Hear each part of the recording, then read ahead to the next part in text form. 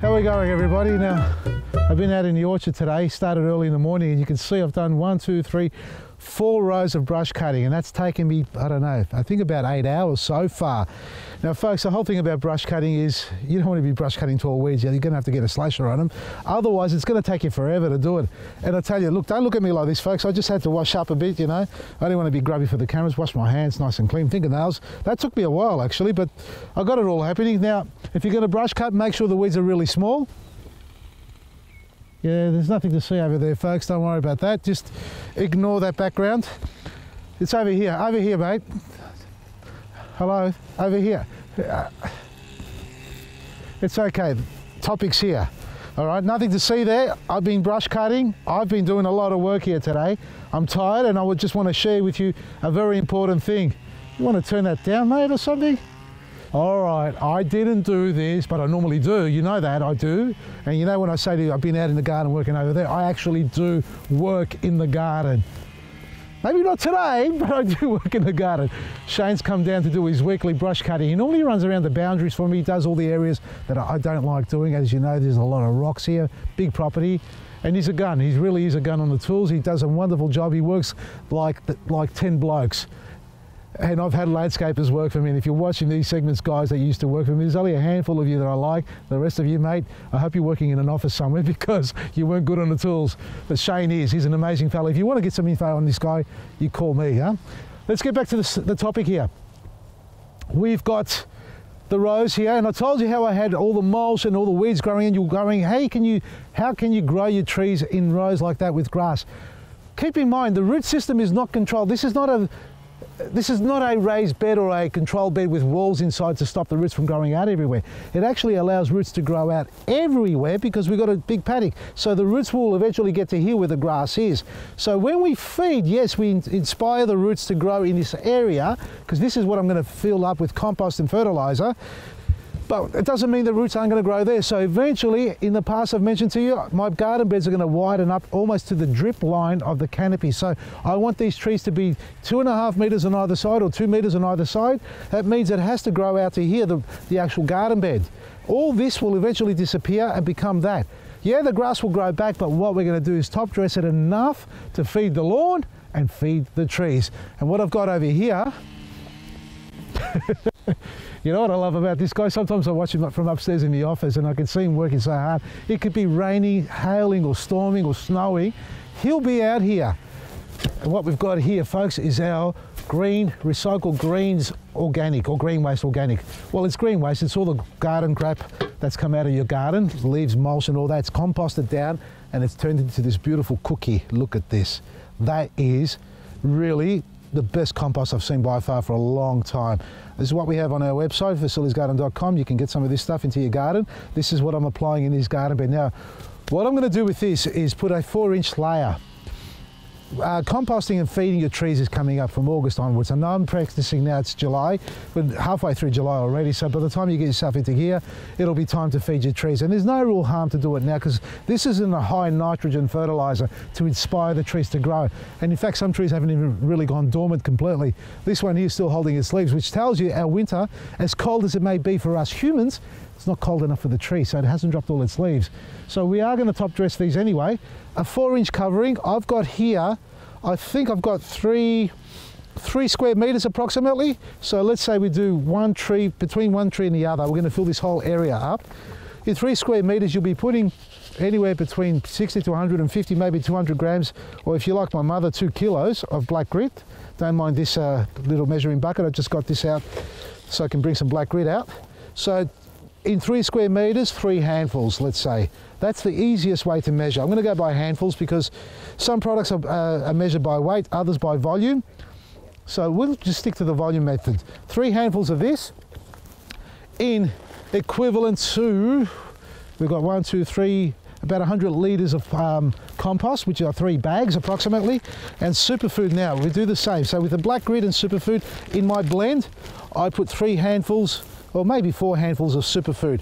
You can put a lot more if you like, but again, folks, you don't need to because you're going to go to waste with it. It'll do the job with three or four handfuls. So that's in this area here. we want to make it stretch. Yeah, we'd love you to buy a thousand bags, but you don't need to. One bag like that will probably do a whole row or half a row, let's say, as a feed in conjunction with your compost and your black grit. Now we're just going to mix all this through. And this is part of the secret recipe that we have with our planting mix, folks. So planting mix has pretty much what you've seen in here and a bunch of other good stuff in there as well, folks. And that's available as a planting mix, which is great for you know, cuttings, propagating, uh, seeding, as well as potting up plants. Here, this is our straight out compost. We've put our superfood and black grit, and that's all you need to do with this. I just might try and move this out of the way like that. Yeah, I'm a superhero. I make it look easy. That's about 220 kilos there, folks. So don't try this at home without supervision. Now, this is going to get a top dressing. I haven't got the big shovel here, so I'm just going to use this little one. Yeah, I've got to pull that grass out of there. Hey, Shane, you missed a bit of grass here, mate. Hey, see, folks, look, this is how good he is. He knows not to brush cuts close to the tree so he doesn't uh, ring bark it. Now, if you're looking for a gardener, folks, you've got to make sure you do the research. Get yourself a gardener who actually knows something about gardening. And it's not a disrespectful uh, comment there. It's about people who actually do a job but actually study and learn it. I've seen too many times people emailing me, ringing me up and saying, is this being ring bark? What do you think? My gardener came in and started brush cutting around it and ripped the bay, oh, nearly swore there, daylights out of the tree. And it happens. You've got to educate them if they don't know. And yeah, they want to make a living. It's not a hard job. It is a physically hard job, but not a difficult job to learn as far as what you can and can't do. So brush cutting around trees, either put a band around it before you get there or put a bumper on, on the end of your brush cutter so it's like a little hood that actually reaches out to the length of the brush cutting cable and that way you hit the tree with the bumper, not the cable itself. Get yourself ready because it's time to compost and I've got to do every single tree here just as you see here now folks with a shovel put it around and it needs a mulch on top afterwards I'm going to get myself some recycled bark I prefer an aged bark I really don't like coloured bark. I look if you want to put coloured bark in your garden, make sure you research because some of those dyes they use are really not good for the garden.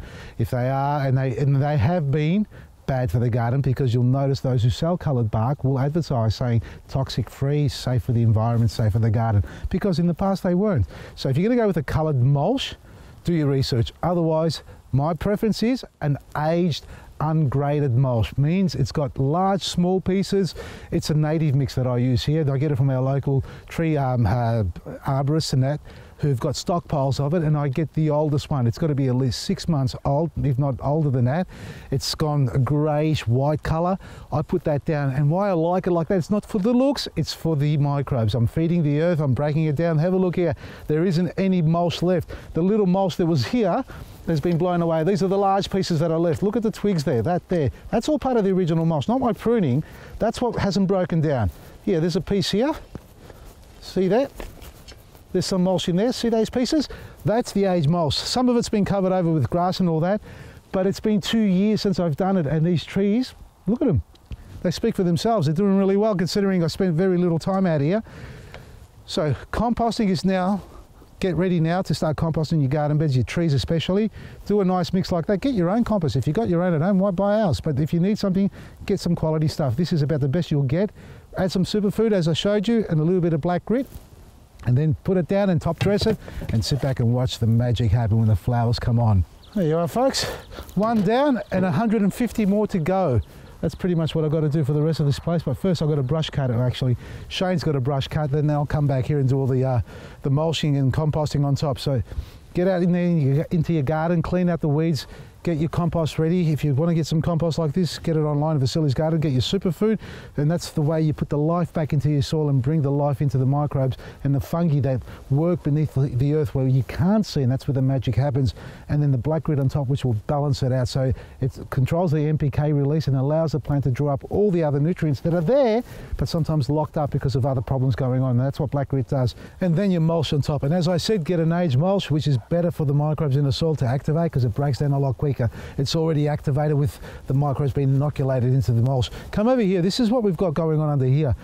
Uh, for those who haven't seen my orchard, this is a two and a half year old or three year old almost orchard. This is the third spring they're going through. I planted the first time, first spring we got nothing but growth. Second spring, which was last year, we had some fruit uh, and we, we weren't aiming for fruit. And now the third spring, Yeah, second, third. Now we expect to get, you know, some decent fruit. Not a lot. This tree had a few you can see here.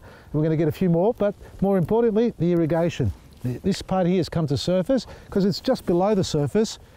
Um, sorry, I just got interrupted by those dogs. They've gone nuts, running at 100 miles an hour. This irrigation is a drip system.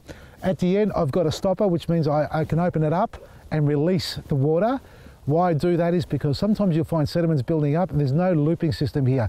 Ideally, you want to loop it so there's no end point on any line in your garden bed. So it's continuously flowing, the water flow. If there is an end point, there's a build-up and all the sediments will get to that point there and sometimes backflow and cause blockage. Here, what we do is drain it out there.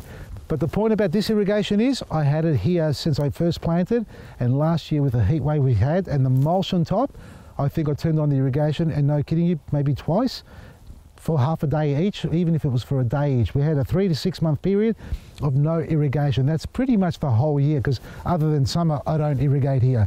It slows down the growth of the tree because there won't be excess amount of water in there, but that's fine with me. I don't need these trees to grow out of control. I need to keep up on top of them, and you can see some of them have got some really good growth on them. So there's plenty of moisture in here for the trees to stay well and truly alive and produce good quality fruit. And in fact, the flavours are even more intense when there's less watering. Not to this point where you drain the tree, but enough to keep the tree hydrated, but not over moistened to the point where the flavours are washed through in the fruit that you harvest. Very intense flavours. So irrigate, mulch, it's important, but always monitor the moisture level in your garden bed. You'll get this all at our website, vasilisgarden.com, our compost, the superfood, black blackroot, all the wonderful stuff that you can put into your garden. Get it now. We've got bulk prices for people who want to buy large amounts at heavy heavily discounted prices. Check it out, vasilisgarden.com. From me, Vasili, Maresi. Hey, puppies, you ready for a run? Let's go. Come on. Oh, oh. Come on, get him. Get him. Get him. Get him. Get him. Get him.